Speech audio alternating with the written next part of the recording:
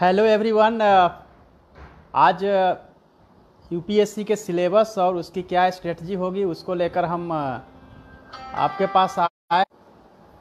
UPSC के syllabus uh, और उसकी क्या व्यूह रचना होनी चाहिए उस टॉपिक uh, को लेके आपके सामने आज उपस्थित हुए हैं और आपके क्वेश्चंस आना शुरू हो गया है। Good afternoon all of you so पहले हम सिलेबस की चर्चा करेंगे कि यूपीएससी की सिलेबस क्या होती है क्योंकि जब तक आप सिलेबस नहीं समझेंगे, तब तक कोई भी एग्ज़ाम को तैयारी करना आपके लिए मुश्किल होगा और आप तैयारी नहीं कर सकते हैं। तो पहले सिलेबस को समझते हैं, बहुत ही सरल लैंग्वेज में, सरल तरीके से मैं आपको बताऊँगा कि सिलेबस को कितने आसानी से समझना है। क्योंकि सामान्य तौर पे जो आप सिलेबस डाउनलोड करके समझने की कोशिश करते हैं तो आपको दिक्कत होती है। तो हम पूरी सिलेबस को तीन भागों में देखेंगे, क्योंकि परीक्षा जो है वो तीन चरणों में होती है। पहले चरण को प्रारंभिक परीक्षा, फिल्म्स कहते हैं। दूसरे चरण को मुख्य परीक्षा मेंस कहते हैं और तीसरे चरण को साक्षात्कार यानी कि इंटरव्यू पर्सनालिटी डेवलपमेंट कहते हैं पर्सनालिटी टेस्ट कहते हैं। सो so, पहले हम फिल्म्स की चर्चा करेंगे। फिल्म्स में दो पेपर होता है। पहला पेपर होता है जीएस का दूसरा पेपर होता है सी सेट सी सेट यानी कि civil services aptitude test. So पहला पेपर जो जीएस का होता है उसमें टू हंड्रेड मार्क्स के क्वेश्चंस होते हैं यानी हंड्रेड क्वेश्चन पूछे जाते हैं। Hundred question, two hundred marks, यानी कि एक क्वेश्चन का जो वैल्यू है, वो टू मार्क्स का होता है। सेकेंड पेपर जो सी सेट है, उसमें अस्सी क्वेश्चन पूछा जाता है और यह भी टू हंड्रेड मार्क्स का होता है। लेकिन यहाँ पे एक क्वेश्चन का जो वैल्यू है मार्क्स है, वो टू पॉइंट फाइव है। लेकिन आपको साथ में यही बताना चाहता हूँ कि यह निगेटिव मार्किंग भी यहाँ पे है। वन थर्ड मार्क्स एक रॉन्ग आंसर करने पे आपके कट कर लिए जाएँगे। यानी कि फ़र्स्ट पेपर यदि एक क्वेश्चन को दो मार्क्स मिलते हैं तो यदि आप एक रॉन्ग आंसर करते हैं तो पॉइंट सिक्स सिक्स आपके कट हो जाएँगे मार्क्स उसी तरीके से सेकेंड पेपर जो सीसेट का है, उसमें यदि आप कोई रॉन्ग आंसर करते हैं तो वहाँ पे point eight three three marks जो है वो कट होंगे. यानी कि वन थर्ड मार्क्स आपके कट होते हैं. बट सेकेंड पेपर जो सी सेट है, उसमें केवल आपको क्वालिफाई करना होता है.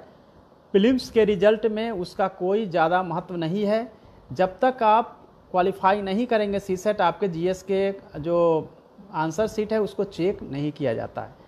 तो यह भी महत्वपूर्ण है, बट उसमें केवल 33 परसेंट ही आपको मार्क्स लाने होते हैं क्वालिफाई करने के लिए। तो सेकेंड पेपर के लिए आपकी रणनीति ऐसी होनी चाहिए कि आप एटलीस्ट जो है 40 45 परसेंट मार्क्स लाएँ। ताकि थर्टी थ्री परसेंट के आसपास रहने पे हो सकता है कि बाउंड्री के आसपास हो तो आपका रिज़ल्ट जो है वो डाउटफुल हो सकता है, संदिग्ध हो सकता है। तो पहले फिल्म्स की चर्चा करते हैं कि फिल्म्स में आपको क्या करना है, उसकी रणनीति क्या होनी चाहिए बुक लिस्ट क्या होता है और किस तरह से आप फिल्म्स को क्लियर करेंगे और उसका कट ऑफ़ क्या होता है।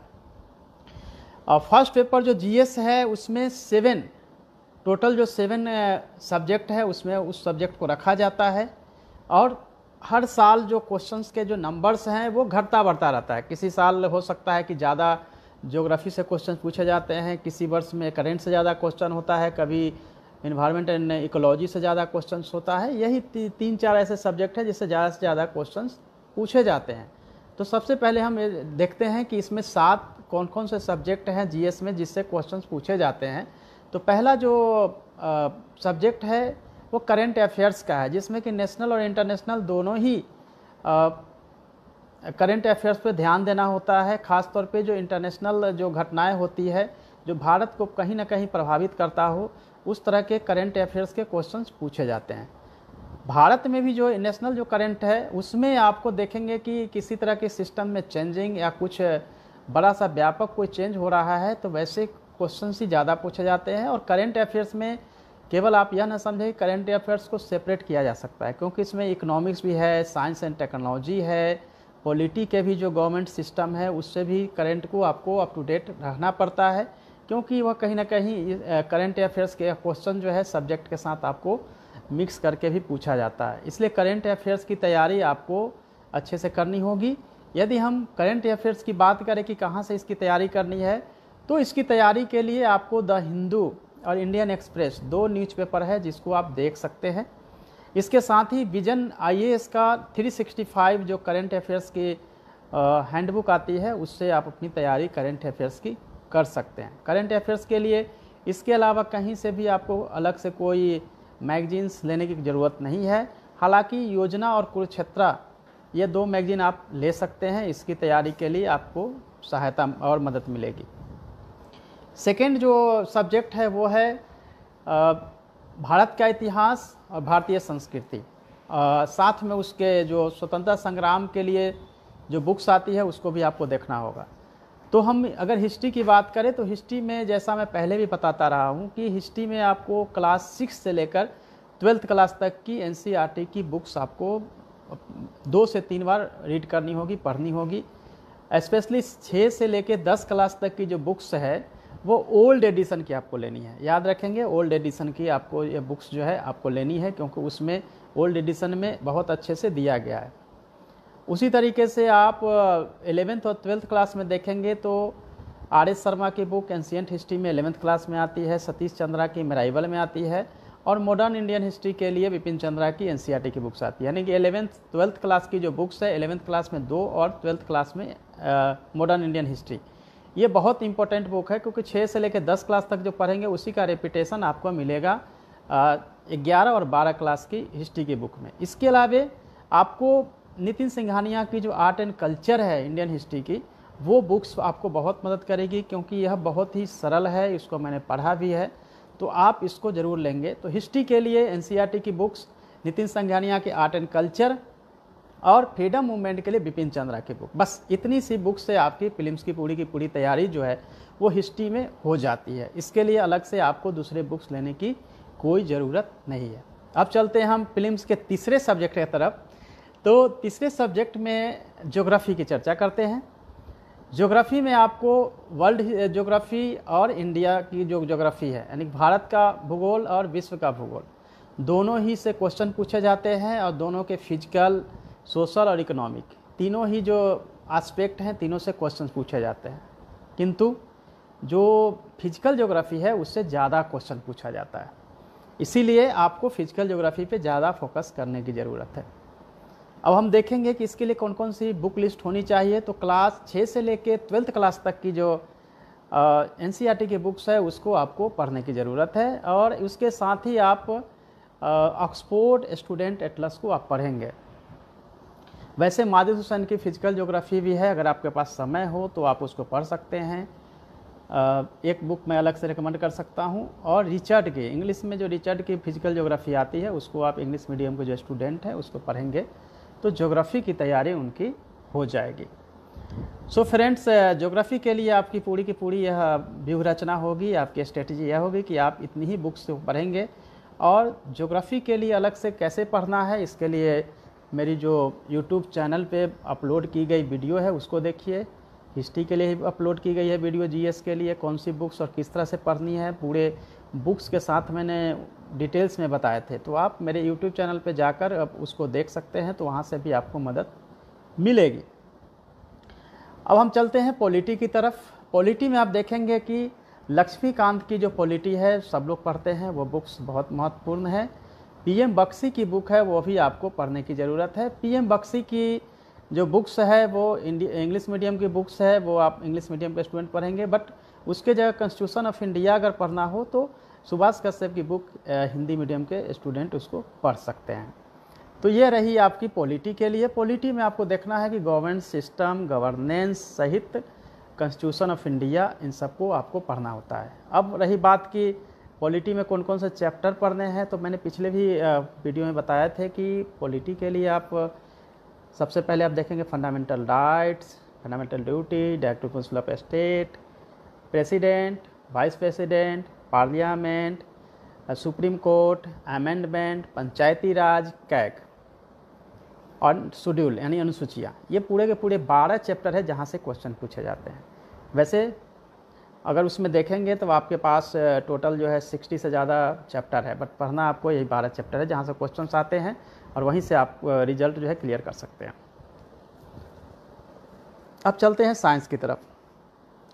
साइंस के लिए नाइन्थ टेंथ क्लास की एन e की बुक्स एनफ है।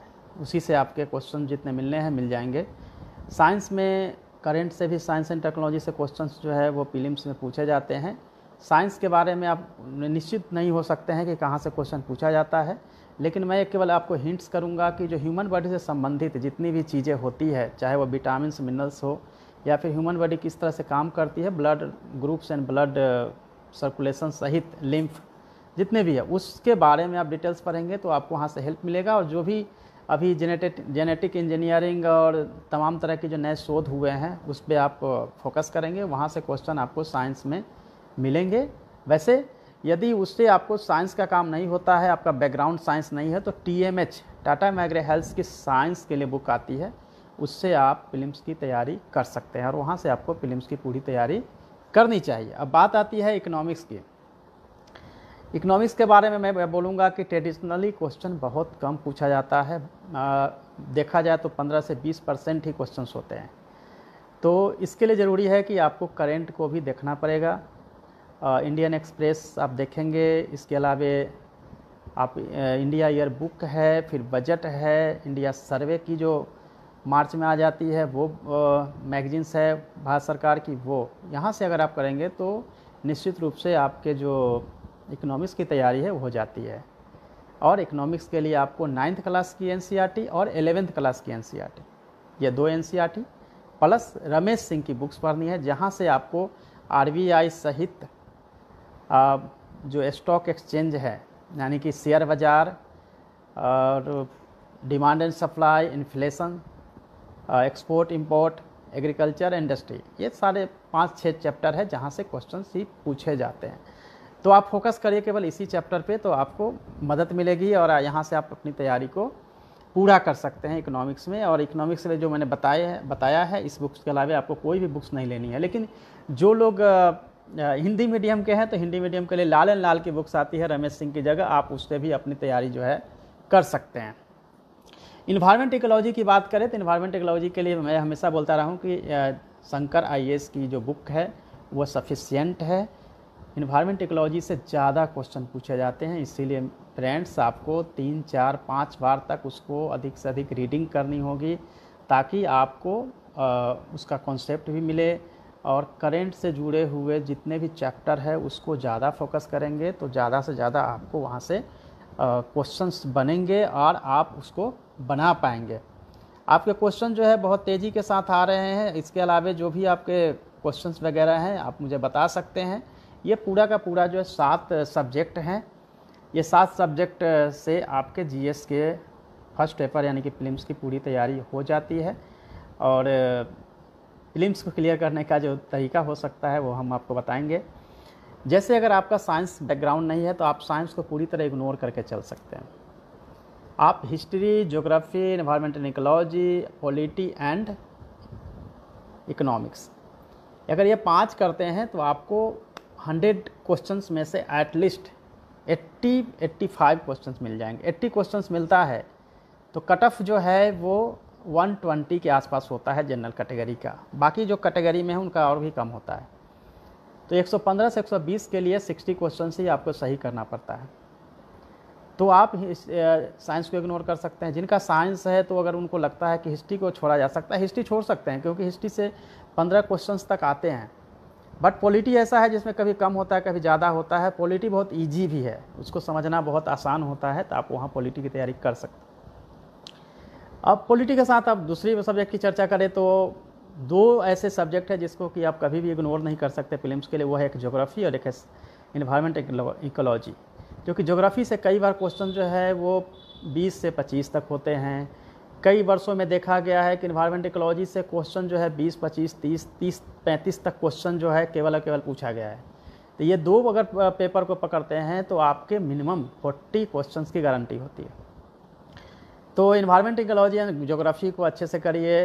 हिस्ट्री को आप मॉडर्न हिस्ट्री पे ज़्यादा फोकस कर सकते हैं एंशियंट और मेराइवल को छोड़ सकते हैं बट मेराइवल से बहुत एक या दो क्वेश्चन होते हैं तो मेराइवल को आप पूरी तरह इग्नोर कर सकते हैं बट फ्रीडम मूवमेंट से मैक्सिमम क्वेश्चन होते हैं तो वहाँ आपको बिपिन चंद्रा की बुक जो है आपको हेल्पफुल रहेगी, आपको वहाँ से देखना पड़ेगा और वहाँ से आपको करना पड़ेगा। अब रही बात की ये स्ट्रेटजी मैंने जो बताई है, उसके अलावे अगर आपको कोई क्वेश्चन आ रहा है कि किस तरह से उसको किया जाना है तो वो भी मैं आपको बताऊँगा कि क्वेश्चन जो है अब जब सोल्व करना है तो एलिमिनेशन मेथड होती है। एलिमिनेट करके आप सोल्व करिए क्वेश्चंस को। जब एलिमिनेट करेंगे तो आपको ज़्यादा से ज़्यादा आप आंसर कर पाएँगे।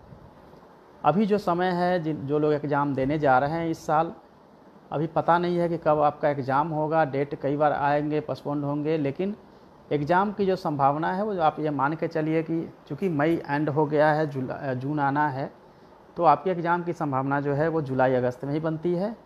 और जब तभी पूछा जाएगा जब जब ये एग्ज़ाम तभी अनाउंस होगा जब सब कुछ नॉर्मल हो जाएगा। सोशल डिस्टेंसिंग आप देख रहे हैं जिस तरह से कोरोना का स्प्रेड जो है तेज़ी के साथ हो रहा है तो आप वो आप ध्यान से देखें। अगर आप देखते हैं तो आपको लगेगा कि अभी एग्ज़ाम में समय है बट इसका मतलब यह नहीं कि आप शांत हो जाए और अपने जो टेम्परामेंट है उसको आप डाउन करें। उस, उसी पेस में अगर अपनी तैयारी को रखेंगे तो आप बिल्कुल क्लियर कर सकते हैं एग्ज़ाम को। अगर हम बात करें कि चलिए ठीक है फिल्म्स के लिए आप सी सेट की बात कर लेते हैं क्योंकि सी सेट को भी क्लियर करना ज़रूरी है, अदरवाइज़ आप कितना भी क्वेश्चंस बना के आएँगे तो आप फिल्म्स क्लियर नहीं कर पाएँगे। तो सी सेट की चर्चा करते हैं। सी सेट से भी क्वेश्चंस जो है आप लोग पूछ रहे हैं कि सी सेट की तैयारी कैसे करनी है। सी सेट जो है मैंने अभी बताया है कि एट्टी क्वेश्चंस होते हैं 200 मार्क्स के हैं और दो घंटे की एग्ज़ाम दोनों ही दो दो, दो घंटे की एग्ज़ाम होती है। जनरली साढ़े नौ बजे से साढ़े ग्यारह बजे के बीच जो है वो पेपर स्टार्ट होता है फिल्म्स का। और बीच में तीन घंटे का गैप होता है। तो यही मेरे ख्याल से यही रहना चाहिए। तो उसके हिसाब से ही अपने जो डेली रूटीन्स है उसको अभी से आप तैयार करिए। क्योंकि डेली रूटीन बहुत महत्वपूर्ण होता है। डेली रूटीन अगर आपका अच्छा होगा तो वो आपके एग्ज़ाम में कहीं भी एक दो क्वेश्चन कम होने की जो संभावना है, उसको नहीं घटने देती है। तो आप डेली रूटीन को भी फॉलो अच्छे से करेंगे चलते हैं सी सेट की तरफ़ और सी सेट को देखते हैं कि उसमें क्या क्या पूछा जाता है। तो सी सेट में comprehension decision making numbers data analysis mental ability ये सब चैप्टर है जहाँ से क्वेश्चंस पूछे जाते हैं वर्बल नॉन वर्बल रीजनिंग पूछे जाते हैं टेबल पूछे जाते हैं चार्ट पूछा जाता है। तो ये अगर प्रीवियस सेवन एट ईयर्स के क्वेश्चंस को देखेंगे तो आपको एक आइडिया मिल जाएगा कहाँ कहाँ से क्वेश्चन पूछा जाता है। और मैं जो बता रहा हूँ, बस इतने ही जगहों से क्वेश्चन पूछे जाते हैं। हालाँकि ये कहा जाता है कि table chart mental ability numbers यानी न्यूमेरिकल न्यूमेरिकल जो क्वेश्चंस होते हैं, वो सब टेंथ स्टैंडर्ड के होते हैं। बट अभी जो क्वेश्चन पूछे जा रहे हैं, वो टेंथ स्टैंडर्ड से ऊपर के होते हैं। हालाँकि सिलेबस में होता है कि टेंथ स्टैंडर्ड के ही क्वेश्चन पूछे जाते हैं। तो आप इसकी तैयारी जो है, अभी से शुरू कर दीजिए और जो क्वेश्चन पूछे गए हैं, बिल्कुल उसी चैप्टर को लिख लीजिए कहाँ कहाँ से क्वेश्चन आता है, वहीं से क्वेश्चन पूछा जाएगा आगे भी। आर एस अग्रवाल की बुक आपको लेनी होगी भरवल नॉन भरवल रीजनिंग के लिए मैथ के लिए भी आप उसी को पढ़िए। और कंप्रीहेंसन के लिए आपको टी एम एच जो कि सी सी सेट मैनुअल के नाम से है तो T M H Tata McGraw Hill की बुक लीजिए अरिहंत की प्रैक्टिस सेट आती है सी सेट के लिए। आप यहाँ से कर सकते हैं बट मैक्सिमम जो हमारे कैंडिडेट्स हैं, हमारे जो फ्रेंड्स हैं उनकी सबसे बड़ी समस्या होती है कि वो मैथ में बड़े कमज़ोर होते हैं, रीजनिंग बड़ा उनको टफ़ लगता है, क्योंकि बिल्कुल जो तैयारी कर रहे हैं उसमें उनके लिए बड़ी समस्या होती है, लेकिन जो इंजीनियरिंग बैकग्राउंड के हैं या साइंस बैकग्राउंड के हैं, उनके लिए सी सेट कुछ भी नहीं होता है।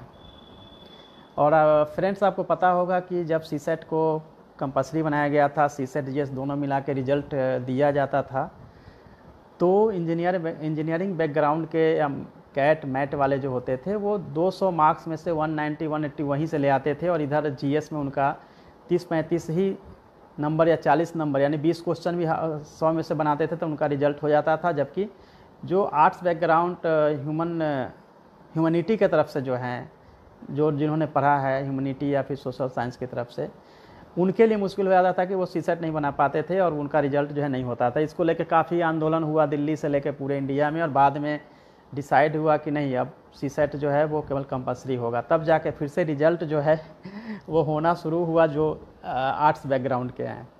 तो फिर भी अभी सी सेट को इतना टफ़ किया गया है तो आपको बड़ा केयरफुल रहना पड़ेगा, बहुत केयरफुली आपको तैयारी करनी होगी। अदरवाइज़ बहुत सारे मेरे फ्रेंड्स हैं जो कि सी सेट में ही हमेशा नहीं क्लियर कर पाते हैं और फिर उनका पीटी नहीं आता। है फिर मैं बात करूँगा मेंस का तो बताऊँगा कि मेंस में भी किस तरह से इंग्लिश, इस तरह से टफ हो गए हैं कि इंग्लिश के चलते भी इंग्लिश डिस्qualify होते हैं और फिर उनका मेंस नहीं होता है।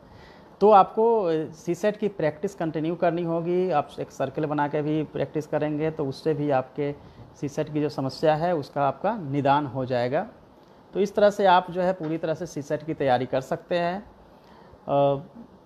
और आर एस अग्रवाल की बुक आपको हेल्प करेगी, उसमें मैथ में भी और नॉन वर्बल और वर्बल रीजनिंग में भी। तो फ्रेंड्स आपके फिल्म्स की तैयारी इस तरह से थी और फिल्म्स में आप, जैसा मैंने बताया कि फिल्म्स में आपको 33 परसेंट सी सेट में आपको केवल लाना है और इसके लिए 28 क्वेश्चन आपको सही करना है 80 में। बट निगेटिव नहीं होना चाहिए कट को करना चाहिए। तो इसके लिए ज़रूरी है कि आप एट लीस्ट आप कितना क्वेश्चन को अटैम्प्ट करेंगे तो जीएस के लिए कम से कम सौ में से 90 क्वेश्चन आप अटैम्प्ट करिए। 85 मिनिमम होना चाहिए। तब जाके आपके जो है निगेटिव जब घटाएँगे तो सिक्सटी के आसपास रुकेगा।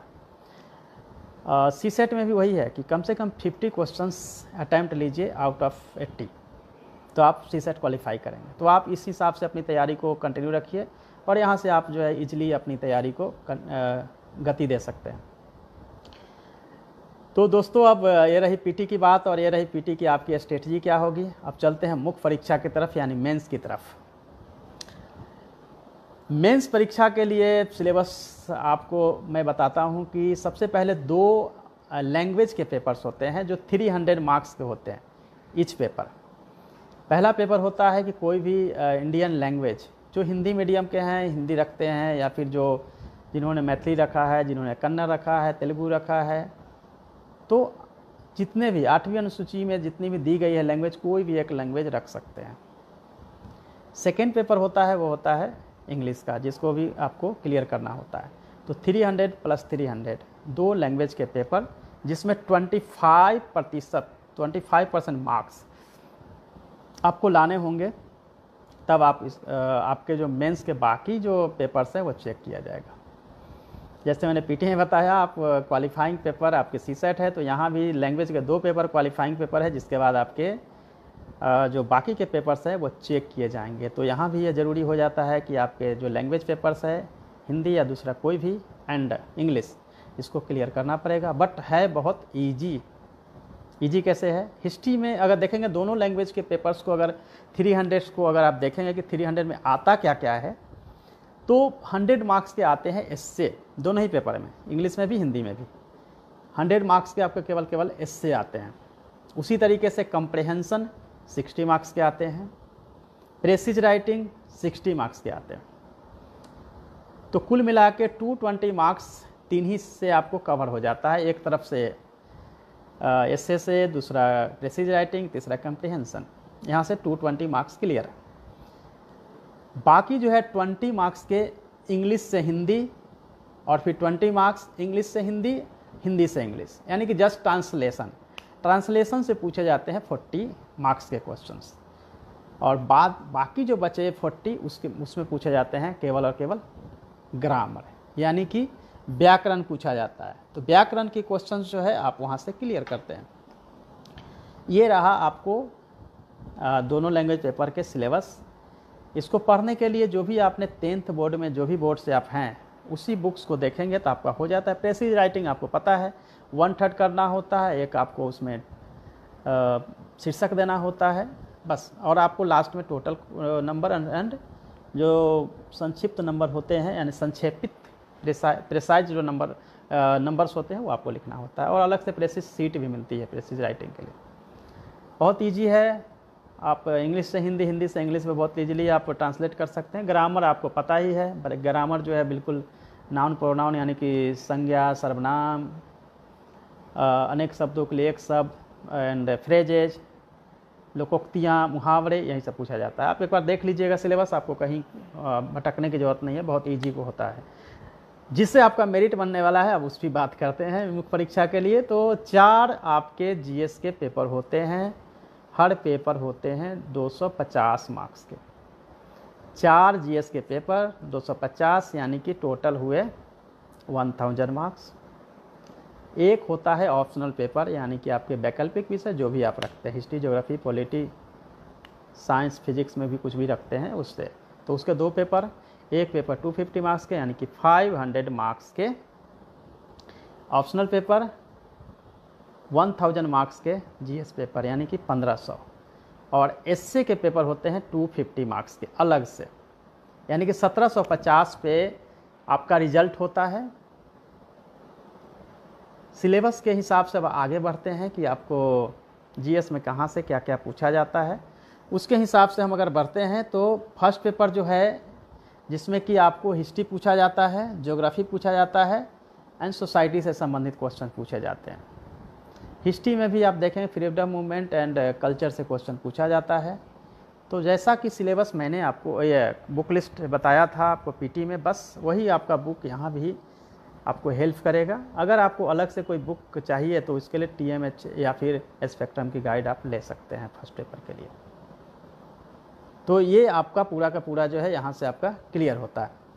सेकेंड पेपर की अगर हम बात करते हैं जिसमें कि पॉलिटी पूछा जाता है, गवर्नेंस पूछा जाता है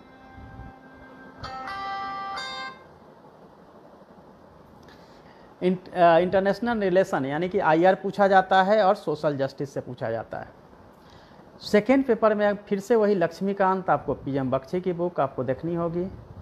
एलेवेंथ क्लास की एनसीईआरटी की बुक्स जिसमें कि गवर्नेंस दिया गया है, वहाँ से आपको हेल्प मिलेगा। और फिर आप देखेंगे सोशल जस्टिस के लिए नॉर्मली जो नोट्स दिया जाता है, आप उससे अपनी तैयारी को पूरा कर सकते हैं। कॉन्स्टिट्यूशन ऑफ़ इंडिया के लिए पीएम बख्शी इंग्लिश मीडियम के स्टूडेंट और फिर सुभाष कश्यप हिंदी मीडियम के स्टूडेंट ले सकते हैं। तो जो फिल्म्स में आपने रखा था और जो फिल्म्स में अपने तैयारी में क्वालिटी यूज़ किया था, बस उसी को देखना है। राइट्स के लिए अलग से नोट्स किसी कोचिंग संस्थान से अगर मिलता है, बाजीराव, रवि का तो उससे आप कर सकते हैं, क्योंकि बहुत सारे जो अधिकार हैं, उसके लिए अलग से आपको पढ़ने की ज़रूरत नहीं है, वो आपको बने बनाए मटेरियल जो है मिलेंगे, वहाँ से आप अपनी तैयारी को कंटिन्यू कर सकते हैं। यदि हम थर्ड पेपर की बात करें जीएस के थर्ड पेपर की तो उसमें इकोनॉमी पूछा जाता है। इकोनॉमी एंड डेवलपमेंट तो फिर से जो है आपको मैं बताऊँगा कि वही रमेश सिंह की बुक्स नाइन्थ एलेवेंथ क्लास की जो एन e की बुक्स है वो। और आपको योजना, कुरुक्षेत्र इकोनॉमिक सर्वे जो भारत सरकार की है, बस। इतने से आपकी जो इकोनॉमिक डेवलपमेंट है, वो थर्ड पेपर की आपकी तैयारी होती है और करेंट पे आपको खास फोकस रखना है।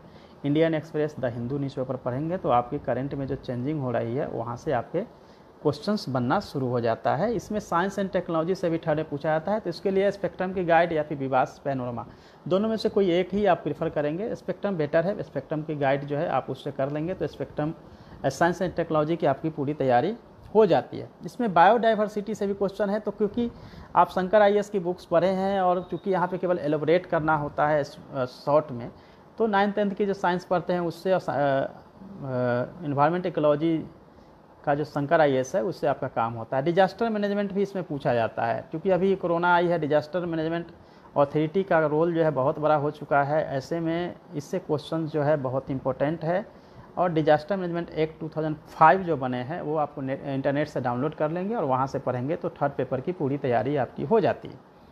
अब चलते हैं फोर्थ पेपर की तरफ़। बहुत इंटरेस्टिंग पेपर है जिसमें कि ethics integrity aptitude Subba Rao की किताब एक मात्र किताब है जिससे आपको पढ़ना है। एक मात्र बुक बुक सुब्बा राव की।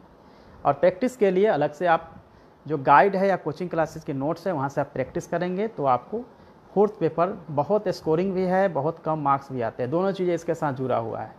तो ये पूरा का पूरा 1750 का पूरा सिलेबस है जिसमें कि एस्से एस्से में दो एस्से लिखना हो, होता है और एस्से के लिए आप जो न्यूज़पेपर पढ़ते हैं उसके न्यूज़पेपर का जो एडिटोरियल है वो आपको महत्वपूर्ण है उससे आप देखिएगा।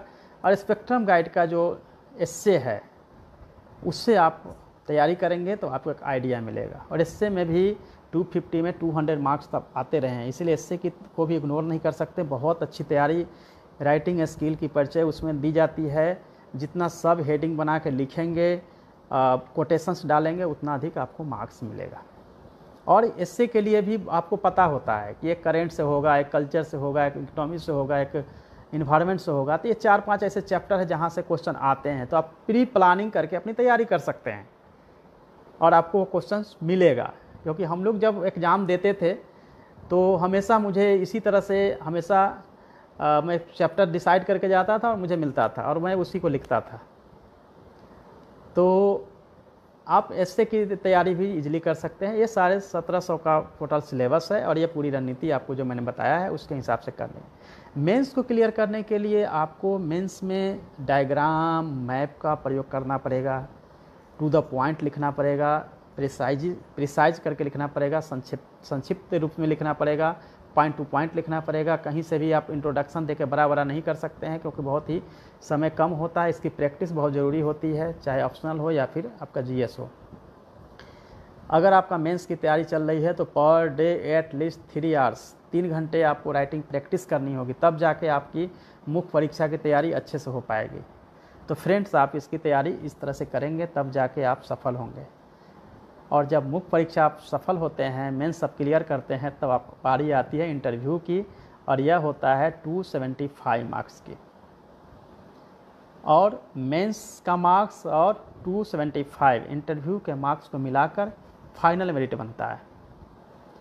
तो कहीं ना कहीं इंटरव्यू से भी ज़्यादा जो मार्क्स दे सकता है, वो है इंटरव्यू मेंस का, जो 1750 का है।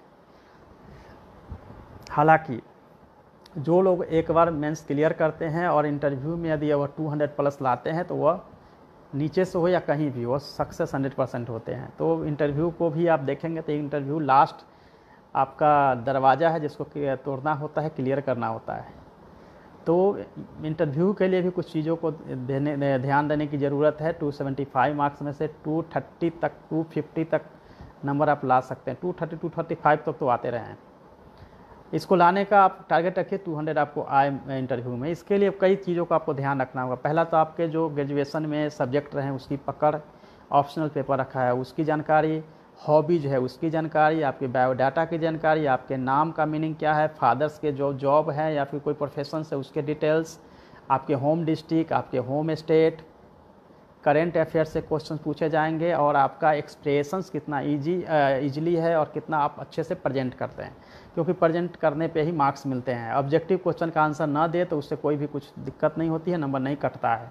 नंबर वहीं से मिलता है, जब आप एक क्वेश्चन का जवाब भी बहुत इम्प्रेसिव ढंग से रखेंगे तो आपको वहीं से नंबर मिलना शुरू होता है। तो इसलिए ऐसा नहीं है दोस्तों कि आपको बिल्कुल रटा रटाया जाएँगे और आंसर करेंगे तो आपको इंटरव्यू में नंबर मिलेंगे। इंटरव्यू के लिए आपको मॉक इंटरव्यू सबसे ज़्यादा मॉक टेस्ट देना चाहिए। मॉक इंटरव्यू जितना ज़्यादा आप फ्रेंड्स के बीच या जो भी आप संस्थान में जाते हैं, वहाँ करेंगे। वो सबसे अच्छा है। संकल्प दिल्ली की संस्था है, जहाँ से मैं इंटरव्यू की तैयारी किया था। सबसे बेटर है, हालाँकि कई जगहों पे मैंने मॉक इंटरव्यू भी दिए थे। सो, मॉक इंटरव्यू अपने फ्रेंड्स के बीच करेंगे तो बेटर है। आप अपने साइज़ के, हाफ़ साइज़ का आईना लेकर रख सकते हैं। मिरर के सामने आप चेयर पे बैठ के अपनी प्रैक्टिस करें, क्वेश्चंस बनाए। इंटरव्यू को लेकर डायरी रखें। डायरी में जो जो आपके दिमाग में क्वेश्चंस बन रहे हैं, उसके क्वेश्चंस बनाएँ। सेकेंड पार्ट में उसका आंसर वगैरह तैयार करें। इंटरव्यू के लिए अपना आई टू आई कॉन्टैक्ट बनाएँ। आई टू आई कॉन्टैक्ट में अगर दिक्कत होती है तो आप नोच पे देखिए जिनको भी आप आंसर कर रहे हैं। बोर्ड में जनरली छः से सात मेंबर्स होते हैं, मिनिमम फाइव तो होते ही हैं। बट उसमें आपको ध्यान रखना है कि कोई लेडी मेंबर्स हैं तो उनको सबसे पहले गुड मॉर्निंग या नमस्कार जो भी आप संबोधन करना चाहते हैं, उनको सबसे पहले करें। भले ही उस इंटरव्यू बोर्ड को चेयर करने वाले मेल मेंबर हो।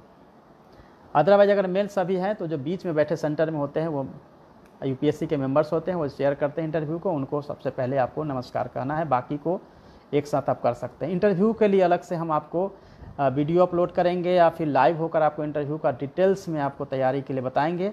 आज का मुख्य विषय ही यह था कि यूपीएससी का सिलेबस क्या है, उसकी स्ट्रेटजी क्या रखनी चाहिए, जिससे कि आप एग्ज़ाम को क्लियर कर सकते हैं।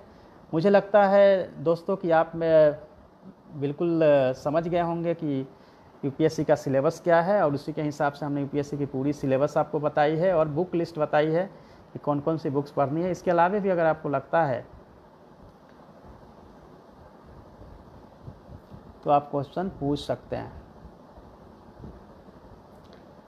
क्वेश्चंस आपके बहुत तेज़ी के साथ आ रहे हैं। सभी क्वेश्चंस जो भी हैं, वो सभी क्वेश्चंस को हमने देख लिया है और सभी को मैंने कवर भी कर लिया है ग्रेजुएशन कर लिया है, बिल्कुल आप तैयारी कर सकते हैं और आज का थोड़ा शेड्यूल भी मेरा हैक्टिक है क्योंकि जस्ट फेसबुक के बाद मैं यूट्यूब अपने यूट्यूब चैनल पे लाइव होने जा रहा हूँ तो वहाँ भी मैं इसी चैप्टर की चर्चा करूँगा। और जिनके भी क्वेश्चंस रह गए होंगे कि हाँ मेरा क्वेश्चन रह गया या मेरे क्वेश्चन कवर नहीं किए गए तो आप वो क्वेश्चन मेरे यूट्यूब लाइव मेरे चैनल पे मैं अभी यूट्यूब लाइव हो जाऊँगा पाँच मिनट के बाद तो आप वहाँ पे भी अपने क्वेश्चंस को रख सकते हैं।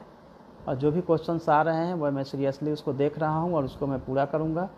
और वहाँ भी मैं आपको बताऊँगा। सो so, कल तक के लिए सबको bye bye and all the best thank you so much hello friends उम्मीद है कि आप सभी ठीक होंगे। मैं डॉक्टर रंजीत कुमार सिंह आईएएस कृपया मेरे चैनल को सब्सक्राइब करें और बेल आइकन को भी दबाएँ ताकि आपको लेटेस्ट वीडियो मिलता रहे और आपकी तैयारी चलती रहे।